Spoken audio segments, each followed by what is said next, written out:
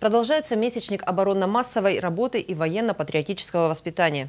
Участники Славянского клуба «Пост номер один» по-прежнему несут почетную вахту памяти в священном для всех славянцев месте у Вечного огня в парке 40-летия Победы.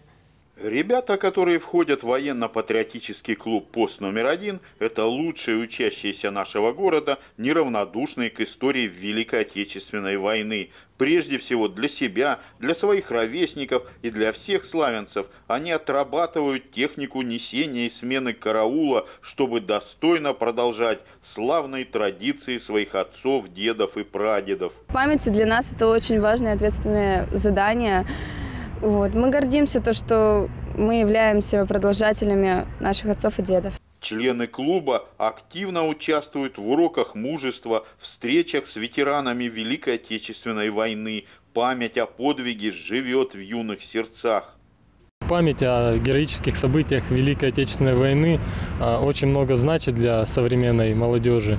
И поэтому ребята из клуба «Пост номер один» а, активно проявляют себя, несут почетную вахту у Вечного огня и в дождь, и в снег, и в жару. С удовольствием занимаются патриотической деятельностью. Не так много времени остается до знаменательной даты Дня освобождения нашего города от немецко-фашистских захватчиков. Юные патриоты продолжают памятную вахту, идя навстречу этому светлому празднику. Андрей Вишневский, Георгий Калинин. Программа «События».